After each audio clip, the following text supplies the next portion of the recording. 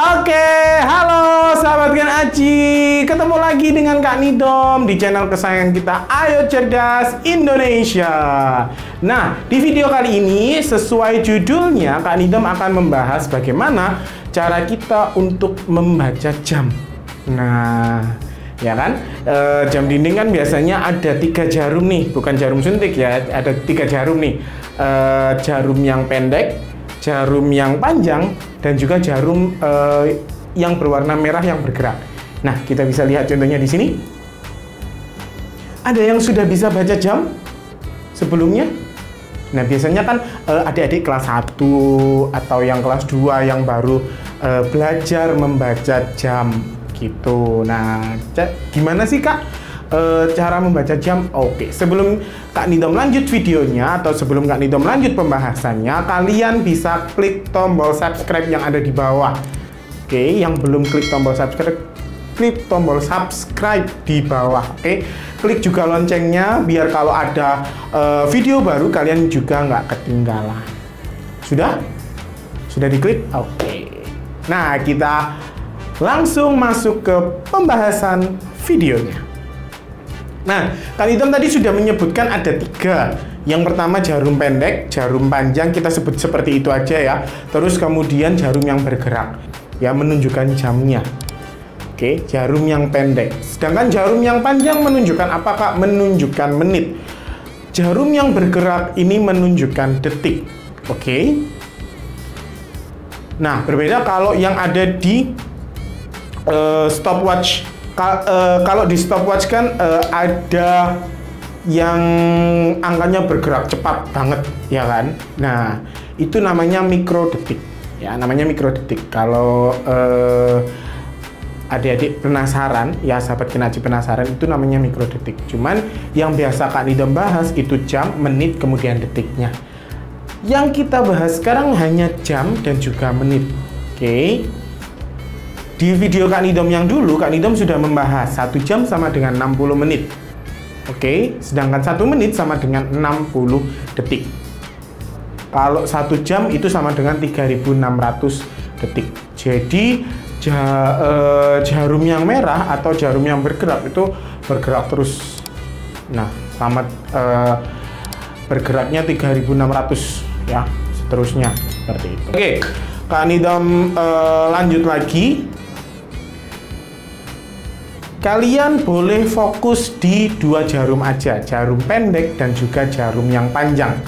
Oke, jarum yang pendek dan juga jarum yang panjang. Seperti gambar di samping. Nah, gambar di samping jarum pendeknya menunjuk ke angka 3, sedangkan jarum panjangnya menunjuk di angka 12. Bagaimana cara membacanya? Iya bener banget. Jam 3 tepat. Oke, jam 3 tepat. Kalau di Indonesia ada uh, ada dua cara pembacaannya ya ya. Jam 3 pagi terus kemudian jam uh, eh, 15.00 ya. Penulisannya ada dua karena di Indonesia juga menganut uh, sistem 24 jam ya. Jadi ada angka jadi ada jam 13, jam 14 seperti itu penulisannya.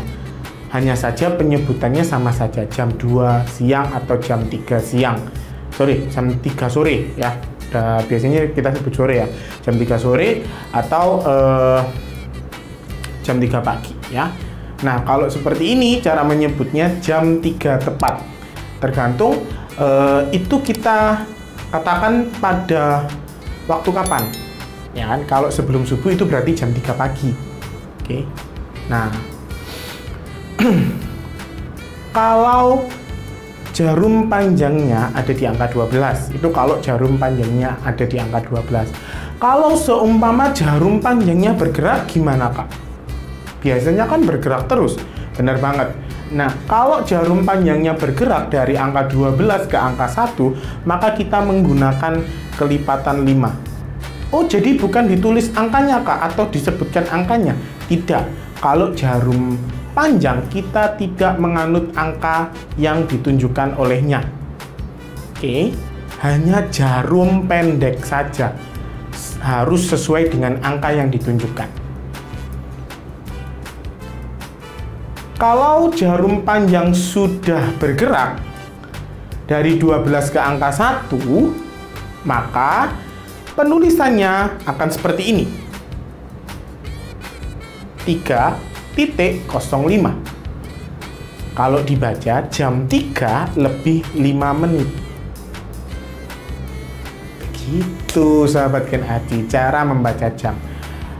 Ketika jarum panjangnya bergerak lagi bagaimana kak? Nah ketika jarum panjangnya bergerak lagi ke angka selanjutnya ya jarum panjang loh ya ini. Jarum panjangnya bergerak lagi dan dari angka 1 ke angka 2 maka kita tambahkan 5 ya kita tambahkan 5 jadi jarak satu angka ke angka yang lainnya itu kelipatan 5 oke. Penulisannya akan seperti ini. E, Kanido masih fokus di jam 3 ya jam 3 lebih 10 menit oke jam 3 lebih 10 menit Lanjut lagi kalau uh, dia atau jarum panjangnya ini bergerak ke angka 6. Bagaimana Kak Nidom? Kalau jarum panjangnya bergerak di angka 6 ya, sampai di angka 6, uh, eh, kita masih fokus di angka 3 ya kan? Uh, jarum pendeknya ini di angka 3, tapi dia sudah mau ke angka 4, tetap menulisnya jam 3.30 ya kan? 5 10 15 20 25 30 jam 3.30 oke? Okay. atau kalau kita biasa membacanya jam 3 lebih 30 menit. Jam 3 lebih 30 menit. Biasanya ada yang lebih simpel lagi sahabat Gen Aji. Gimana kak cara bacanya? Setengah empat ya setengah empat Oke, karena kan satu jam itu sama dengan 60 menit. Nah, sedangkan jarum panjangnya ini sudah bergerak sampai 30 menit, gitu loh. Dan dia mau ke angka 4 atau ke mau, e, mau ke jam 4 tepat. Maka dari itu biasanya e, kita menyebutnya dengan jam setengah 4. Meskipun tulisannya 3.30.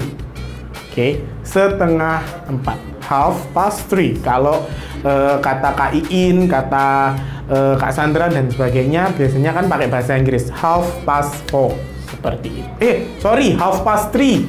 Sorry, typo guys. Half past three kan 3.30 gitu. Oke, okay, kita lanjut lagi jika jarum panjangnya sudah melewati angka 6 ya. Oke, okay, sudah melewati ke angka 6. Sudah melewati ke angka 6 menuju ke angka 7 misal Oke, menuju ke angka 7. Berarti kan eh, 30 terus kemudian ditambah 5 lagi menjadi 35. Penulisannya dalam digital jam 3.35 ya. Jam 3 lebih 35 menit. Atau kalau dalam eh, penyebutan biasanya itu seperti ini. Jam 4 kurang ya, mau ke jam 4 nih soalnya dia. Jam 4 kurang uh, kurang berapa? Jam 4 kurang 25 menit. Ya, jam 4 kurang 25 menit. Oke, okay. boleh seperti itu cara membacanya. Loh, kok bisa kurang 25 menit kak? Gimana ngitungnya? Nah, kita ngitungnya dari angka 8 dulu. 5, terus kemudian 10, eh, 15, 20, 25. Ya, mau ke angka 12 itu 25 menit. Kanida melanjut lagi, kalau seumpama eh, jarum panjangnya ini bergerak ke angka 9. Cara penulisannya gimana kak? Cara penulisannya jam 3.45. Kan kelipatan dari angka 5, ya kan? 30, 35, 40, 45. Oke? Jam 3.45, jam 3 lebih 45 menit atau yang biasa umum dikatakan orang yang biasa dikatakan e, kebanyakan orang itu seperti ini. Jam 4 kurang seperempat menit atau jam 4 kurang 15 menit ya. Jam 4 kurang seperempat menit atau jam 4 lebih eh jam 4 lebih jam 4 kurang 15 menit ya. kalau semama ditanya nih uh, jarum panjangnya ada di angka 9 terus kemudian lihat angka uh, lihat angka yang mau ditunjukkan jarum panjangnya. Oh angka yang mau ditunjukkan jarum pendeknya ya jarum pendek tadi yang Kak Nidom uh, sebutkan di akhir ya. Nah di jarum pendeknya itu mau ke angka 4 nah kalian bisa nyebutin oh jam 4 kurang 15 menit jadi jarum panjangnya di angka 9 jarum pendeknya mau ke angka 4 Berarti jam 4 kurang 15 menit. Ya. Tadi Kak Nidom sudah mencontohkan secara digital, terus kemudian Kak Nidom juga sudah mencontohkan dalam uh, pengucapannya seperti apa. Ya, jam 4 kurang 15 menit. Seperti itu. Kalau semama dia bergeser lagi Kak ke angka 10. Nah, berarti kan tulisan digitalnya jam 3.50 atau biasa disebutkan dengan jam 4 kurang 10 menit. Jam 4 kurang 10 menit. Gimana sahabat Ken Aji? Buat uh, sahabat Ken Aji di rumah yang belum bisa baca jam? Sudah paham? Nah kan itu kasih tips nih buat sahabat Ken Aji yang pengen uh, mahir membaca jamnya nanti. Kalian bisa gambar lingkaran, ya kan? Lingkaran di buku kalian. Terus kalian tulis nih 12 1 2 3 4 sampai uh, sampai 11 tadi ya. Mulai dari angka 1 2 sampai 12, sorry. Nah, terus kemudian di angkanya ya di luar angkanya atau di luar lingkarannya kalian tulis mulai dari angka satunya itu ya 5 terus kemudian lurus ke angka 2 10 15 20 sama seperti gambar yang ada di samping sahabat Genaji kalian bisa tulis seperti ini. Jadi nanti kalau kalian lihat jam kalian bisa tahu jam berapa sekarang. Oh jam 3 lebih 20 menit begitu jam 3 lebih 20 menit. Oh uh, jarum pendeknya masih di kisaran uh, angka 3 terus kemudian jarum pendek uh, jarum sorry jarum pendeknya masih di kisaran angka 3 terus kemudian jarum panjangnya sudah di angka 4 berarti jam 3 lebih 20 menit. Oke sampai di sini penjelasan Kanidom ya Kanidom pengen uh, ngasih challenge nih buat sahabat Gen Aji Oke, pengen ngasih challenge buat sahabat Gen Aji, lihat gambar yang ada di samping. Gimana sih cara nulis digitalnya? Bisa uh, tulis di kolom komentar. Ya, cara bacanya juga. Cara bacanya seperti apa? Ya, jam 3 lebih 15, jam 3 lebih seperempat. Seperti itu. Oke, uh, sebelum video ini berakhir, Kanidam akan berikan uh, menit-menitnya ya. Biasa dikenal dengan uh, nama yang berbeda dengan menit-menit yang lain ya.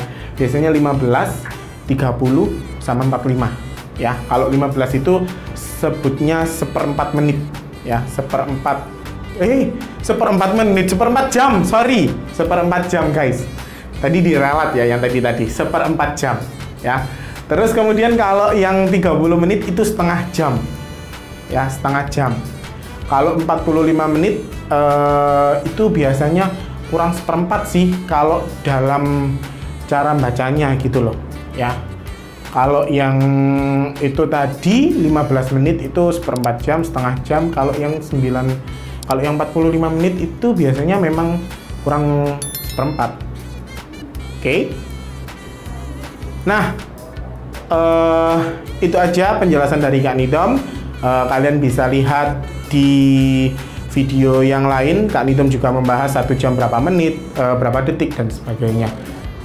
Jangan lupa like, share, dan juga komen. Thank you, sahabat Genaci. Dadah.